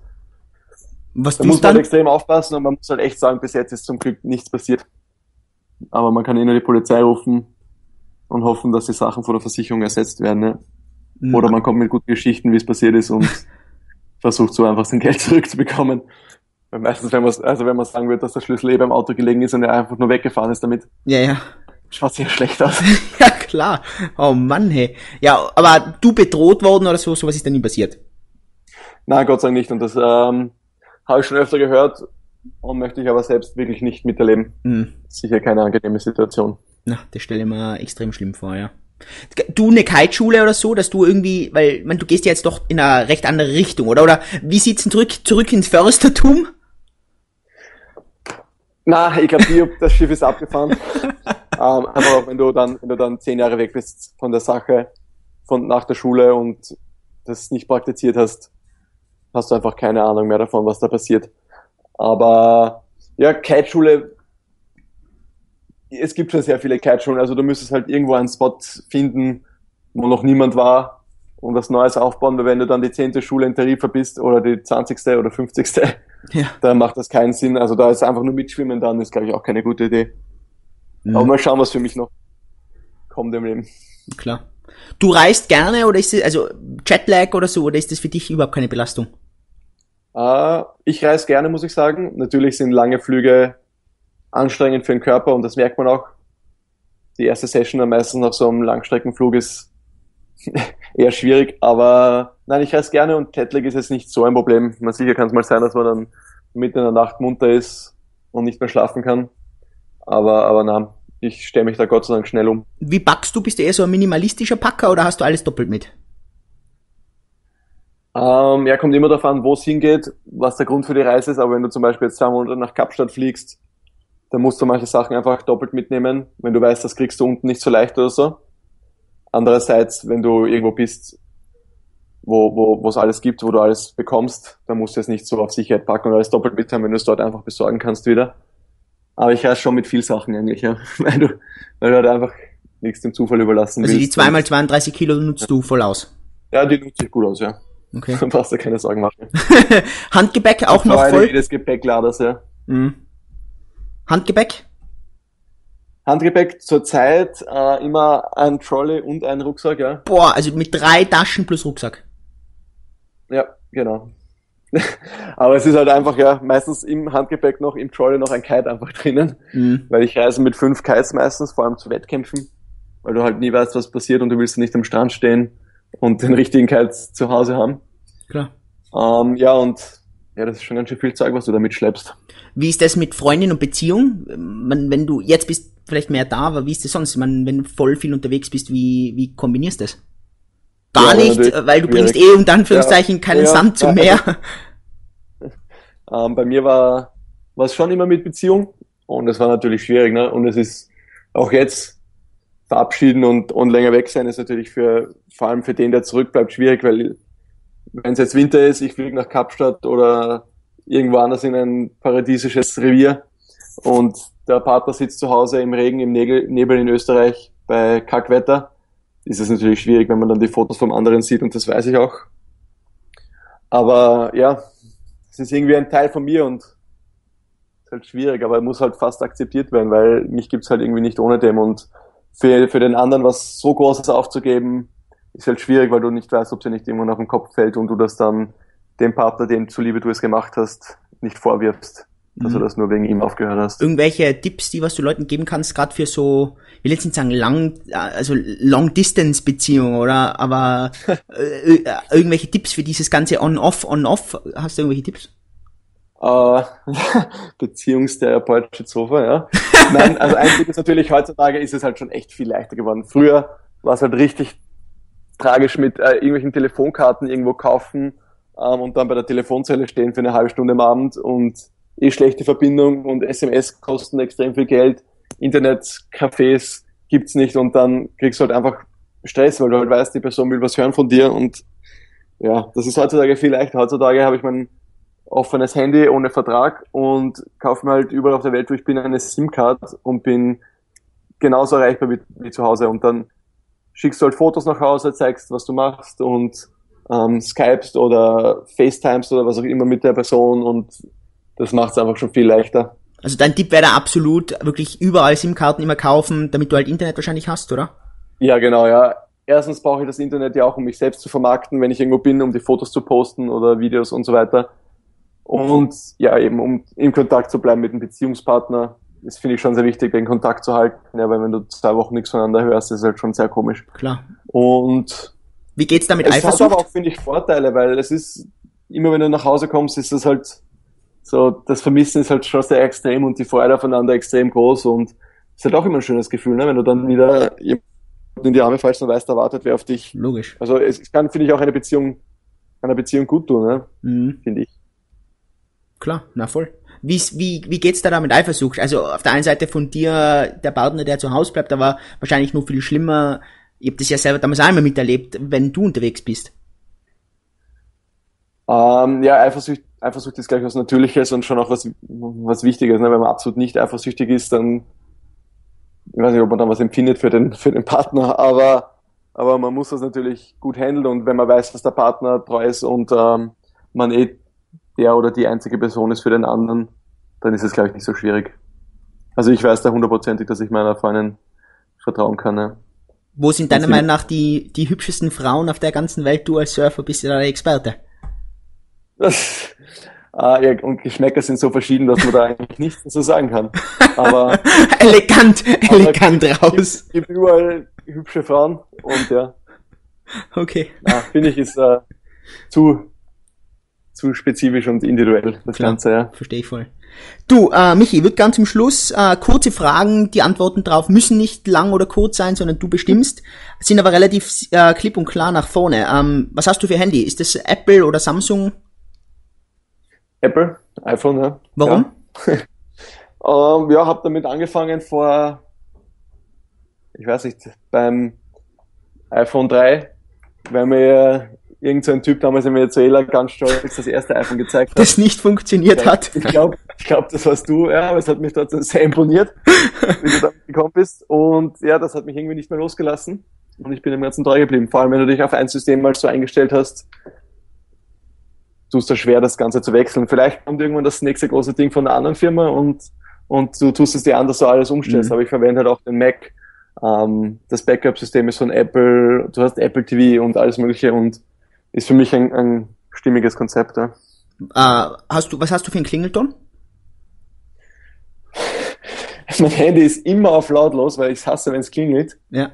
Und deshalb weiß ich nicht mal, was für ein Klingelton ich habe. Okay, völlig fair. Aber es ist irgendein Standard. Ja, okay, finde ich völlig fair, finde ich gut. Uh, hast du irgendeinen speziellen Handy-Hintergrund oder Computer-Hintergrund? Oh, Handy-Hintergrund ist, uh, der Sperrbildschirm ist ein Bild aus Neukaledonien, das ich gemacht habe von einem, einer Palme beim Sonnenuntergang. Geil. Weil mich das irgendwie, auch wenn ich irgendwo anders bin, in eine gute Stimmung versetzt. Mhm. Und der normale Hintergrund ist ein Bild von meiner Freundin und mir natürlich. Cool. Weil auch das positive Vibes für mich sind. Logisch. Ähm, Computer, mein Hintergrund ist der Standard. Ja, bei mir auch. El Capitan, glaube ich. Bei mir auch, ja. ja. Cool. Äh, irgendeine App, da wo du sagst, das ist, das verwendet jetzt nicht jeder, also jetzt nicht irgendwie so WhatsApp oder so, sondern das ist jetzt eine App, wo du sagst, da bist, das ist eher jetzt, die, was du für die hast, wo du sagst, komisch, dass das sonst niemand anderer hat, weil das ist so eine geniale App. Braucht jetzt nicht zum Kommunizieren sein, sondern irgendein Ding, wo du sagst, boah, das ist eine richtig coole App, die sollten sich anschauen. Puh. Irgendwas, was du, irgendwas, also was du. Apps, die ich wirklich gern verwende, sind natürlich Apps, die mir sagen, wo guter Wind geht. Mhm. Was verwendest du? Windbohrer und Windfinder. Okay. Also vor allem Windfinder verwende ich da. Und was ich sehr gern verwende, sind um, Tracking-Apps. Ich weiß nicht, für alles mögliche im Sport. Zum Beispiel habe ich Strava für meine Mountainbike-Touren, wo ich sehe, wie schnell ich war, wie schnell waren andere auf dieser Strecke und so weiter. Strava, wie, äh, wie buchstabiert man das? S-T-R-A-V-A. Okay. Das ist, glaube ich, aber eine sehr bekannte App in diesem Bereich, vor allem bei Mountainbikern. Und ja, ich als Wettkampftyp sehe es natürlich extrem gern, den Vergleich zu anderen Leuten und das pusht mich, dass ich vielleicht beim nächsten Mal noch mehr Gas gebe und so und sowas finde ich immer sehr interessant zu sehen, wie viele Kilometer bin ich gefahren, was war die Höchstgeschwindigkeit, äh, wie waren die Anstiege, Herzfrequenz und so weiter, kann man da alles verwenden. Klar, finde ich cool. Das ist echt cool. Liest du viel? Äh, man, klar, für die FH wirst du wahrscheinlich selber viel arbeiten, auch mit Büchern. Oder ja, liest du viel? Ja. Ähm, ja, immer sehr abhängig vom, vom der Zeit, die ich über habe. Im Moment muss ich halt im Zuge meiner Masterarbeit viel Literatur lesen und. Was liest du, wenn du frei wählen kannst? Ähm, wenn ich frei wählen kann, lese ich gern Kriminalstories, Kriminalistik, Ballistik, ähm, Krimis habe ich sehr gern und Sachen, die mich in Bezug auf Sport weiterbilden, äh, Bücher über Krafttrainings, über Muskelarbeit. Irgendwelche so zwei Bücher, wo du sagst, einmal aus Kriminologie und einmal vielleicht aus dem äh, Sport, wo du sagst, die sollte man lesen? Ähm, äh, puh, Kriminalistik. Also ich habe die ganzen Henning Mankel Bücher gelesen. Okay. Also alle, alle Krimi-Stories von ihm, die sind ja alle cool und zusammenhängen. Im Sport, ey, da gibt's unendlich viele Bücher. Im Moment lese ich ein Buch von Stephen Fleck und William Kramer Designing Resistance Training Programs. Okay. Darüber, wie dein Körper funktioniert bei Krafttraining und wie du das am besten anwendest. Okay, ich schreibe das auf, ich hau das danach in die Show Notes rein, dass das die Leute sich Sehr mal gut, ja. anschauen können. Mhm. Okay. Lieblingsfilm von dir? Ah, gibt's zu viele, muss ich ehrlich sagen, ja. Ein oder zwei? Na, kann ich mich nicht festlegen, Julian. Okay. Gibt's einen ich Film, jetzt gerade nichts im Kopf. irgendeinen Film, den du gern, den du immer wieder schauen kannst ohne Problem? Ähm, ja, ich schaue ab und zu, äh, also James Bond kann ich mir eigentlich immer wieder anschauen. Ja, Cool. Ja, definitiv, ja, finde ich cool. Ah, TV-Serien? Ja, ähm, ja schaue ich viel so Krimi-Stories, NCIS, Hawaii 5.0. Nichts Tiefgründiges, muss ich sagen, aber ich schaue die Sachen auch meistens nur Gut, dann, wenn... gibt's irgendwelche TV-Serien, die tiefgründig sind? Gut, ja, das ist auch eine gute Frage. Aber äh, die sind schon sehr oberflächlich. Hm. Aber ich, ich liebe sie, weil wenn, wenn ich die schaue, dann ist es meistens irgendwo auf Reisen, wenn du am Flughafen auf was wartest oder ähm, auf Flügen und so weiter. Und dann, dann ist sowas immer sehr angenehm, Klar. wenn man nicht zu viel nachdenken muss. Hm, logisch. Äh, was war so in der letzte Einkauf unter 100 Euro, wo du sagst, hey, der war so, hu, der war eigentlich keine 100 Euro wert, sondern der war 10.000 Euro wert? Das ist eine gute Frage. Unter 100 Euro. Ja, irgendwas Kleines. Ähm, ich glaube, ein Armband für meine Freundin, das mir sicher nicht viel Geld gekostet hat, aber sehr viel bewirkt hat bei ihr. Cool, denke ich mir. Mhm. Ja, finde ich gut. Ähm, Peter Thiel, einer der Ursprungsinvestoren von Facebook, der hat immer so eine berühmte Frage und die stelle ich auch den Leuten total gern. Und zwar das ist, gibt es etwas, von dem du total überzeugt bist, wo die Mehrheit absolut nicht zustimmt? Ja, ja das gibt sicher und ich glaube, das gibt es auch bei jedem. Aber bei mir ist es sicher in Bezug darauf, dass man auch als äh, Profisportler in Randsportarten eine Berechtigung hat, Geld zu verdienen und seinen Traum zu leben und damit durchzukommen und nicht im System stecken muss mit seinem 9-to-5-Job und sich an normale Konventionen und Arbeitszeiten halten muss. Ich glaube, dass man es auch anders machen kann.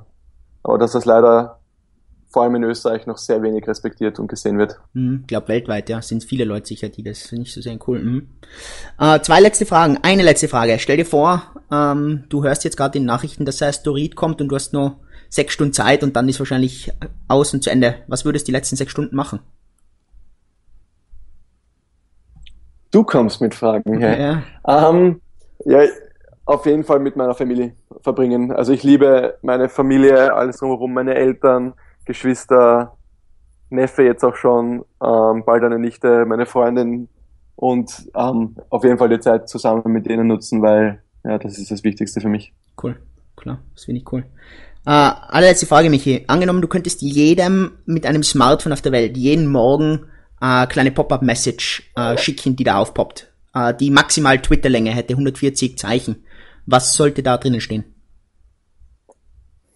Ja, ich zähle jetzt nicht mit, aber es sollte irgendwie, der tiefere Sinn soll schon da sein, dass man ähm, no regrets, hey, einfach das tun, was man gern hat und das auch irgendwie jeden Tag ausleben versuchen, auch wenn man in einem normalen Job ist und vielleicht nicht so die Möglichkeit hat, jetzt jeden Tag äh, an den Stand zu gehen oder so, aber irgendeine Kleinigkeit musst du für dich haben, die du jeden Tag machen kannst, wo du sagst, ist mir jetzt egal, was andere denken oder ob es richtig oder falsch ist, das mache ich machen, damit es mir gut geht. Finde ich cool. Michi, hey, ich sag tausend Dank, das war ein richtig cooles Interview. Ja. Ich bin echt total danke, dankbar, ja. dass du dir Zeit genommen hast. Coole Sache. Ja, gut, danke Julian, ja, hat mich sehr gefreut.